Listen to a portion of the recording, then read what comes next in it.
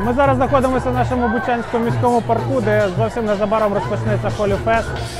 Фестиваль, коли люди обкидаються фарбами, як у мене, наприклад.